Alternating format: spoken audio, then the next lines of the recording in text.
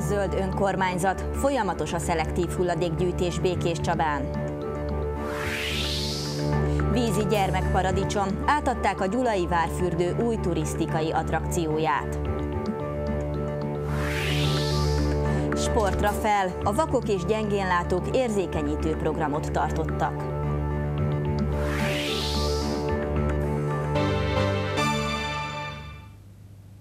Jó estét kívánok! Önök a 7.tv híradóját látják. Tűz ütött ki egy hegyesi faipari üzemben csütörtök hajnalban. A Damjanics és a Bóta Demeter utca között található 120 négyzetméteres üzemcsarnok teljes terjedelmében égett, és több száz négyzetméteren kigyulladt a telep területén felhalmozott készáru és faanyag is. Az esethez a Békés Csabai, a Gyulai, a Mezőberényi, az Orosházi, a Makói, a Mezőkovácsházi és a Hódmezővásárhelyi tűzoltók érkeztek, hét gépjármű fecskendővel és három vízszállítóval. A szakemberek megakadályozták a lángok tovább terjedését, a helyszínről pedig tíz gázpalackot hoztak ki. Az oltást a Békés megyei katasztrófavédelmi művelet irányítási szolgálat irányította. Az eset során nem történt személyi sérülés. Magyarországon a helyi önkormányzatokról, illetve a hulladékgazdálkodásról szóló törvény alapján az önkormányzatok kötelessége ellátni helyi szinten a hulladékgazdálkodási feladatokat. Békés Csabán ezt az önkormányzat egy cégnek szervezte ki, mint ahogyan a szelektív hulladékgyűjtési feladatokat is. Folyamatos a munka a DARE bázis Nonprofit ZRT Békés Csabai telephelyén. A Békési megyeszékhelyen a helyi önkormányzat megbízása nyomán ez a cég szállítja el és gyűjti össze a város újrahasznosítható hulladékát. Mindezt minden hónap első csütörtökén teszi. A szelektív hulladékgyűjtő edényekben a csomagolási hulladékokat kellene elhelyezni, a papír, műanyag és fém típusú hulladékokat. Ezek általában a háztartásban keletkező üdítős üvegek, sörös dobozok, konzervdobozok, teljes dobozok, üdít, öblítős, öblítős dobozok, a lényeg, hogy ezek a, ezeket a típusú hulladékokat kiöblítve tisztán kellene elhelyezni a szelektív gyűjtőedénybe. A szelektív hulladékgyűjtésnek két változata zajlik a városban.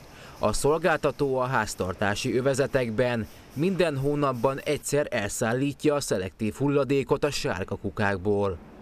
A másik fajtája a szállításnak a lakóparkos övezetekben történik, ahol a lakók gyűjtőszigetekre dobhatják ki a szemetet. Gyakran tapasztaljuk azt, hogy akár a kommunális, tehát a hetente elszállítandó háztartási hulladékokba, illetve akár a szelektív hulladékgyűjtő szigeteken is olyan hulladékok kerülnek elhelyezésre, amik nem odavalók. Az egyik legjelesebb példa ez a veszélyes hulladék. Mi a veszélyes hulladék? Hát az a veszélyes hulladék, amely olyan anyagot tartalmaz, ami a környezetre, az emberi egészségre, élővilágra valami káros hatást tud gyakorolni, a jegyző arról is tájékoztatott, hogy aki nem iránymutatás szerint helyezi el a hulladékokat, az tettenérés esetén helyszíni bírságot kaphat, továbbá szabálysértési feljelentésre, legrosszabb esetben büntető eljárás lefolytatására számíthat.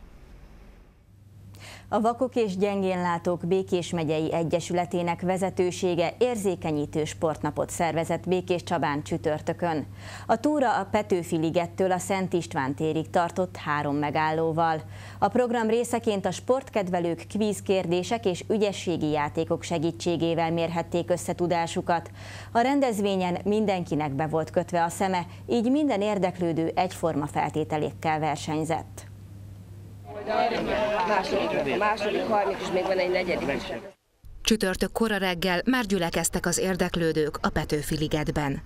A Békés megyei Vakok és Gyengénlátók Egyesülete szervezte azt az érzékenyítő sportnapot, amelyen bárki részt vehetett. A 7.tv szerkesztője is kipróbálhatta azt, hogy hogyan is közlekednek a vakok és a gyengénlátók. Fehér botok kinél vannak? Nálam van egy. Akinek hibátlan a látása, el sem tudja képzelni, milyen lehet úgy közlekedni a városban, hogy csak fényeket vagy semmit sem lát. A forgalmasabb kereszteződés a jól látókat is óvatosságra inti, a látásukban, mozgásukban korlátozottaknak azonban a zebrán való átkelés ennél súlyosabb kérdés is lehet. Van egy életmódtáborunk, és az azon belül egy ilyen sportvetélkedős, érzékenyítő nap, és ezzel szeretnénk megmutatni a látóknak is, meg a lehetőséget megadni azoknak, akik meg szeretnék ismerni a látássérültek egy kisi életének szeletét, a közlekedést, illetve a sportolási dolgokat. Több segítő is csatlakozott a sportprogramhoz, amelyet több szempontból is fontosnak tartanak. Okoz úgymond egy összetartást a csapaton belül. Az, hogy ugye a külső szemlélő mit láthat egy ilyen érzékenyítő napon, talán bevezetheti őt, hogy mit is jelent látássérültek lenni a mindennapokban, mert azt, hogy szemüveget visel valaki, vagy egy fehér bottal közlekedik, vagy esetlegesen egy vakvezető kutyával, az külső szemlélőként furcsának, nem mindennapinak tűnhet, de ezek nem csak eszközök. Azok, akik a sportnapon kíváncsiságból vettek részt, megtapasztalhatták, milyen az élet a látás nélkül. Vannak olyan tagok az Egyesületben, akik életük során folyamatosan vesztették el látásukat, amely nem csak a mindennapokban jelent kihívást. Mióta vak vagyok, soha, tehát nem voltam sehol, tehát otthon a négy fal között nem, nem volt, aki segítsen abba, hogy, hogy a lakásból ki tudjak jutni, és ezt a Vakok és Gyengéllátók Egyesületének köszönhetem, hogy ö, idáig eljutottam, hogy segítenek hogy ta, megtanultam közlekedni, hogy ö, az informatikát tanulhatom. A program szervezői között akadtak olyanok, akik a családjuk révén kapcsolódtak. Hankó Petra elmondta, nagy öröm volt számára, hogy unokatestvérével együtt segíthettek a résztvevőknek.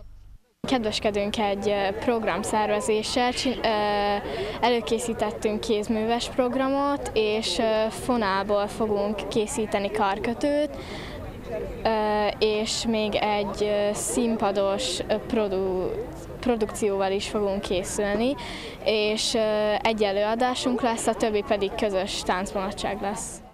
Telekiné Furák Mónika rendőr alezredes szerint minden embernek ki kellene próbálnia az érzékenyítő programokat azért, hogy megtapasztalják az életnek ezt az oldalát.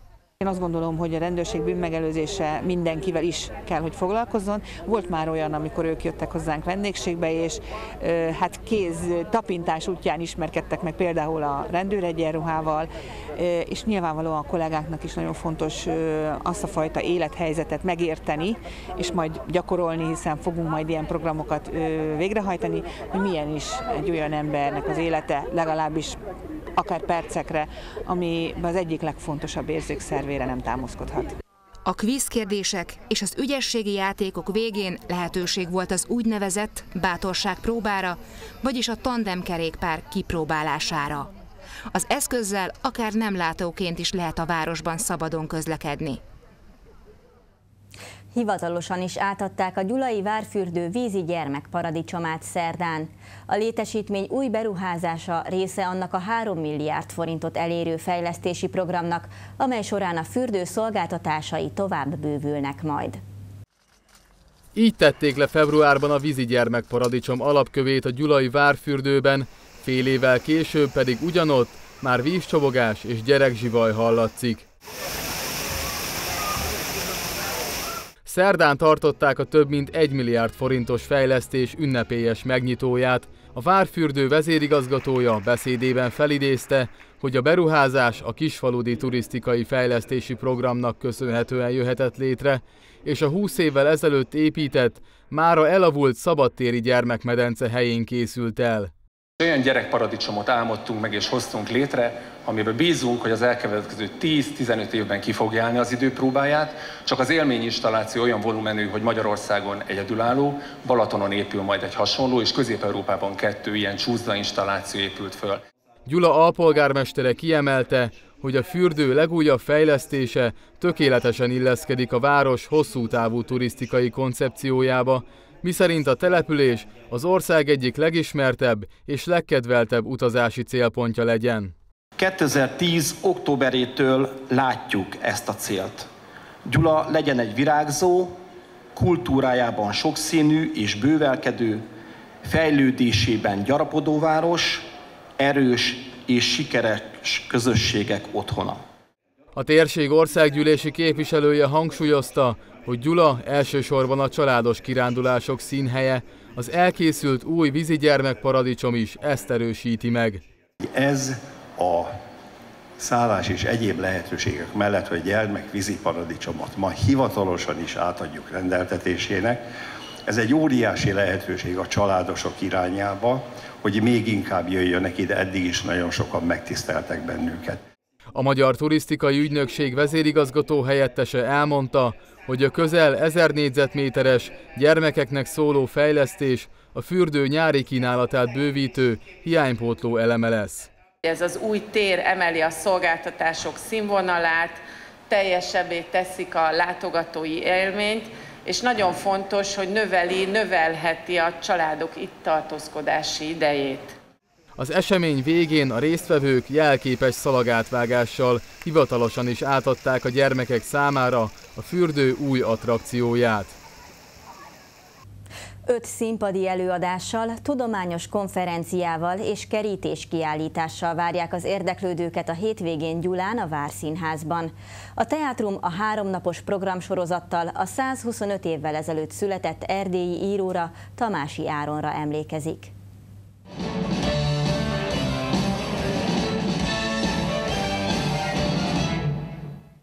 A Békés Csabai Jókai Színház előadása, az Énekes Madár című darab is látható lesz a hétvégén a Gyulai Várszínházban.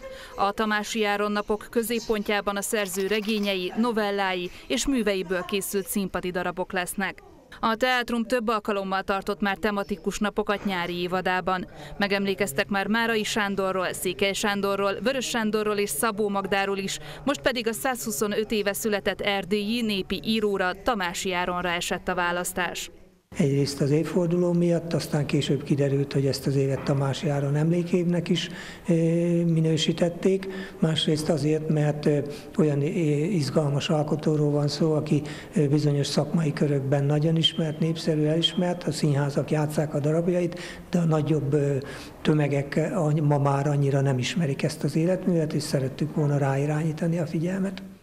A Tamási Áron napok egyik kiemelt programja a Tündöklő Jeromos című előadás lesz, melyet a Várszínház, a Nemzeti Színház, valamint a Beregszászi I. és Gyula Nemzeti Színház közösen visz színre. Az előadás rendezője szerint annak ellenére, hogy egy széleskörű koprodukcióról van szó, a kezdeti összecsiszolódás után gördülékenyen zajlott a közös munka. Nagyon sokféle iskolából vagyunk, mármint nagyon sokféle színházi tapasztalattal rendelkező, másfajta irányokat járó, sok-sok ember volt itt.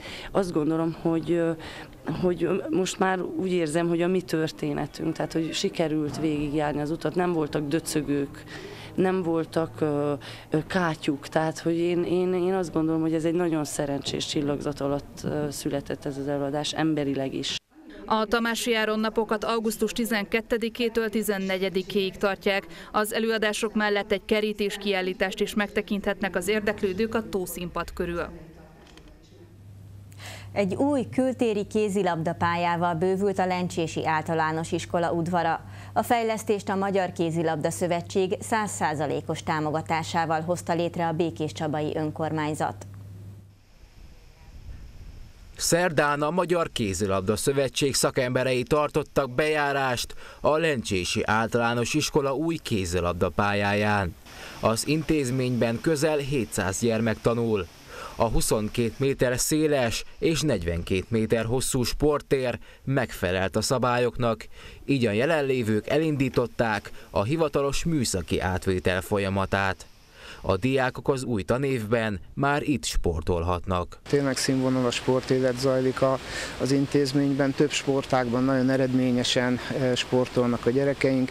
Jó kapcsolatban vagyunk a Város Sportegyesületeivel, utánpótlás nevelésben azt gondolom, hogy tényleg aktívan és magas szinten eh, veszünk részt. Elég, hogyha az előző évi diákolimpia, kézilabda diákolimpia országos döntőre utalok, ahol a 7.-8-os lányok második helyezést értek el, és tényleg tényleg nagyon-nagyon sokat készültek rá. Az önkormányzat az új játékteret a régi pálya helyén létesítette a Magyar Kézilabda Szövetség 100%-os támogatásával.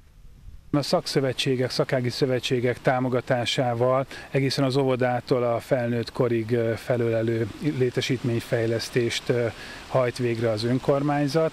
Ugye a OVIS létesítmények, a Röplabda Szövetség, illetve a Magyar Labdarúgó Szövetség révén, jelenfejlesztés a Kézilabda Szövetség révén valósul meg. Van, ahol önrészsel kellett hozzájárulni, valahol az alépítmény biztosításával. A kapuk mögé palánkot és hálót szereltek fel azért, hogy a labdák minél nehezebben hagyják el a pályát. A rekordtán burkolaton egészen október végéig sportolhatnak a fiatalok, melyet tavasszal már ismételten lehet használni. Nem lehet ott az atlétikai Európa-bajnokságon Márton Anita, aki koronavírus fertőzés miatt nem tudja vállalni a szereplést. Az olimpiai bronzérmes és világbajnoki második helyezett sportoló tipikus tüneteket mutat, és tesztje is azt igazolja, hogy a vírusfertőzés miatt romlott le az egészségi állapota.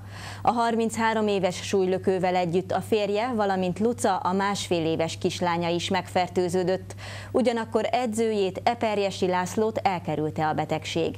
A versenyző szombaton utazott volna el az augusztus 15-én kezdődő Müncheni kontinens viadalra. Számának selejtezője és döntője is hétfőn lett volna.